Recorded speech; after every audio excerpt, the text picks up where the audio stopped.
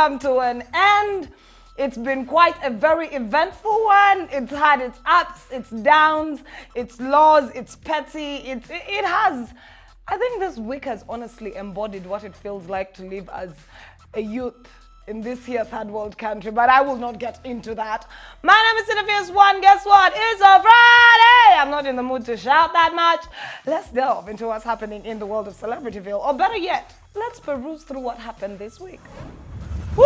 Um, and of course, because it is a Friday, we are definitely going to be using the copy of Kampala Sun, our sister publication. And of course, it's gossip. Yeah, it's gossip, and you can't read it alone. So today, in the Kampala Sun, they are talking about the Kabaka is not my lover, says Gareth Onyango, though us who know the people that are close to him are looking at it like, okay, I know it's a royal situation and you can't come outrightly and claim you're dating her, but Tubalem Kumagezi, say, say she's someone you're trying to know. There's, better ways to, to, to, you know what, I don't care. That's what they're saying. And um, undercover Miss Curvy organizers plotted Nansas's win. Find out what happened with the Miss Curvy situation. Yomba, the girls still coming out. No, are they girls?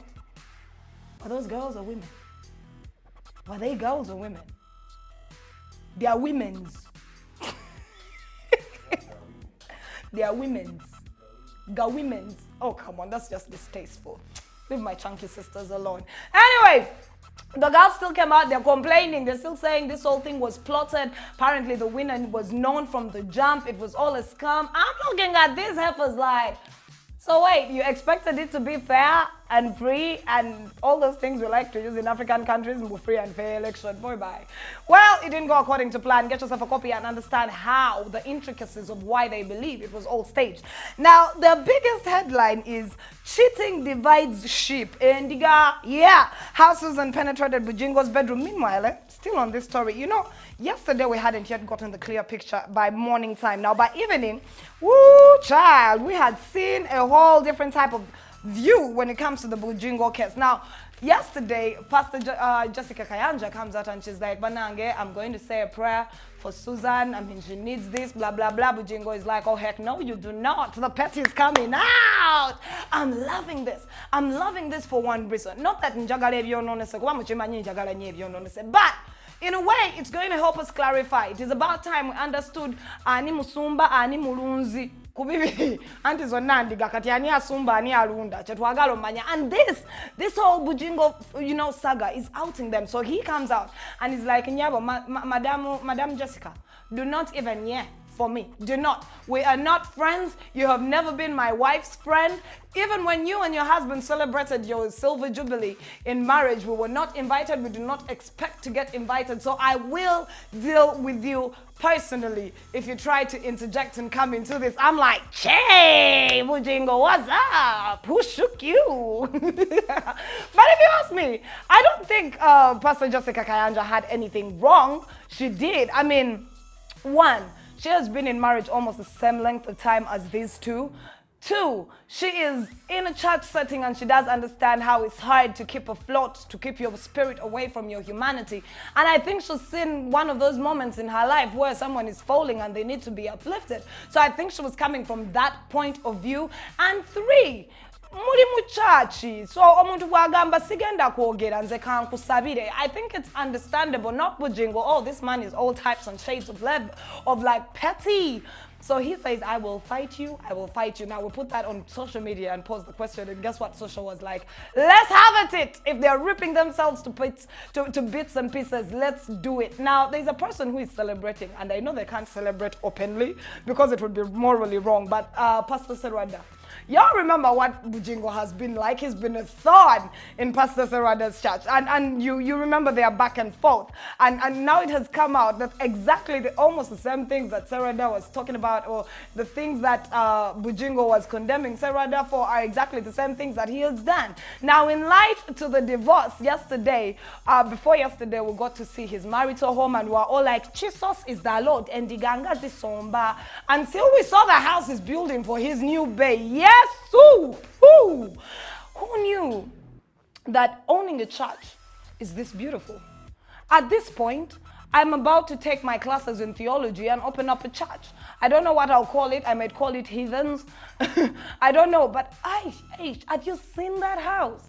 Have you seen that house? And of course, people came out to make fun of it. They're like, ee, the wife of 29 years, this house should have been, she should have been getting the new house and then the side piece getting the new house. I'm like, yo, wait, they do not intend to make the side piece the side piece forever. This divorce is finna go down because the way I'm seeing it, they are at an impasse. So we're going to sit pretty and watch. Meanwhile, Mukazo Owoko, the side piece, is seated pretty. She is not fighting no war. She is not saying nothing. She's being the queen that she is years. if you ask me, her marriage to Pastor Bugingo, if they do ever get married and they outrightly come and say that, yes, we was banging, we was doing this, it was wrong, it was infidelity, but here we are. There are certain things I want to see. I want to see how the church is going to embrace her. Kati bwanayimirira katuti anti bwowasa omusumba naawe obeera musumba res bwanayimirira katuti ng'ayogera n'abakazi b'omu church because they always have the, the, pastor's wife always has like a section mu eh, bufumbo eh, I mean, what was she going to say? What will it be like? And this is the fun bit. This entire saga reminds me of Pastor Namutebi. Do y'all remember when Pastor Namutebi stood up and she said, Onze mukama ye yangambye mbono ye musajja wage. She took someone's man outrightly and she was unabashed about it. For her, she was like, God, God, never ne mukama alabye mukama agenda tukuba emiggo. Agenda tukuba emiggo gisigadde gikwate ettaka because we are honestly breaking one of the commandments. We use his name in the, we use his name in vain. but this saga though, this saga, y'all are just looking at it as, oh, it's a Bujingo situation, it is just about the land, or it is about the marital dispute. No, people, it's deeper than rap. Secrets are going to be unraveled. Churches are now scared. Pastors is running around trying to check what, what is my line title for the church in, what do I have, if this endigabwe zirababye nyina mu lwatu, zinantwala zitya, what am I doing, how, is, how, how am I going to influence my followers? Now this, this is a conversation I'm ready for because we have been waiting. Pastor Lokodo came out and said, Banai, the Badengamba to registering at these churches. Now, this is when the conversation is going to come out. Because now we're going to know who right, who wrong. It's impossible to know, even if the system comes out and says registering. But hey, I see very many secrets going to be told out here. I see very many churches crippled and falling down to their feet, and us understanding the benefit, the, the, the genesis of how this church has started. Ooh, child, I'm loving this. I'm loving this. But what I'm loving the most is the fact that Pastor Bugingo has omanyinga bakukwatidde mu act ye bamukutte kyamulidde naye ng'omukalukalu atajja buugi he is going to any platform that he wishes to and he is calling out names names. He is taking names for, for, for, for, for just the sake of it. Buli ayogera Pastor Jingo is like, shut up. Ah, it is going to be fun. I have to honestly say that for all the times that we have talked about churches and pastors and Abbas uh, uh in Gazabwe, this is going to be the very first time I get closure. I have my own closure, but I wanted the masses to see the closure. Mm. Someone tell me, Tina, you're very confusing to understand. Tetumanyi wogwa temwina kumanya wengwa. It is a personal choice. anyway, uh, yesterday Bobby Wine was granted bail. Hip hip hooray! The masses cheered on. It was good stuff, you know. It was good stuff. And then I got wind that he actually has a concert going down in Amsterdam. Now it's not just any concert. The same band that plays for what's his name? For Akon he is actually going to be sharing the same stage with them. And, you know, we're calling out the masses down in Amsterdam or neighboring countries. If you're around and close by, head down to Amsterdam. He's going to be performing. He's going to be talking about whatever it is that he wants to talk about. And here's the fun bit. It's in Amsterdam. If you get my drift, it's, it's going to be fun, man, yo. Come, come through. Now, of course, it's supposed it was slated to do it with Shiba, but we know that Shiba cannot do anything live. So, Shiba eba amuwadde after party. Bobby Wine agenda chikuba ku stage live. So yeah, for all my peoples down in Amsterdam, if you're close by the Schengen countries, if you know you have your money, show up. Come in numbers, support a brother. He's going to be in your town. Promoter bamuyitani. Eddie Mukenya.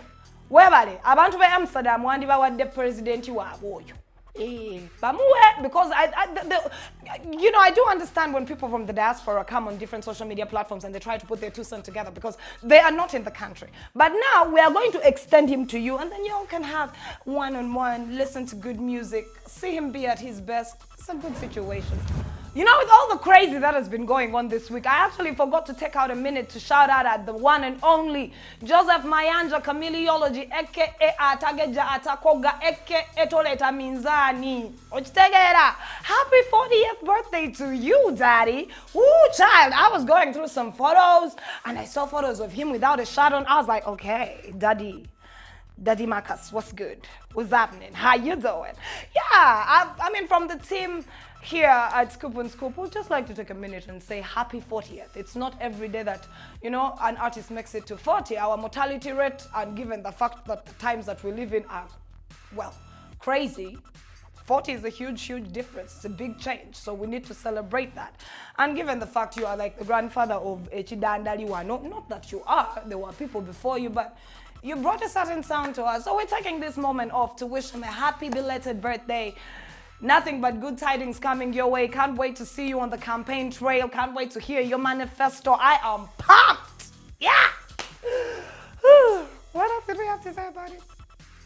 I will not talk about the speech he gave at his birthday party. I was just like, not the place. But, you know, happy belated birthday from me and the entire Scoop and Scoop team. Ah, uh, yeah, that's been my weekly roundup because there's still a lot going on. Ah, behind the covers, there's a lot going on. I wish I could. Singa chali chisobolanga nembabulira ebibera behind the scenes. Namwe mwandingambye, you know what's in. It ain't easy. It ain't easy for a gossip girl to survive in this here country. Yes. At Tina PS1 is my Twitter handle, and on Facebook we are Scoop and Scoop and at Tina PS1. Not forgetting on Instagram it's a Tina PS1 with an H. I'll catch you on the flip side. Don't forget it's a weekend. Month just ended. Half of y'all is paid. Drink don't drive. Yes, get you a designated driver. Always make sure you wear protection. It doesn't matter. It doesn't matter where your head, your situation. Just always strap up. Get that strap. I'm just saying. For now, though, catch you on the flip side. That is on Monday. I'm out. Peace.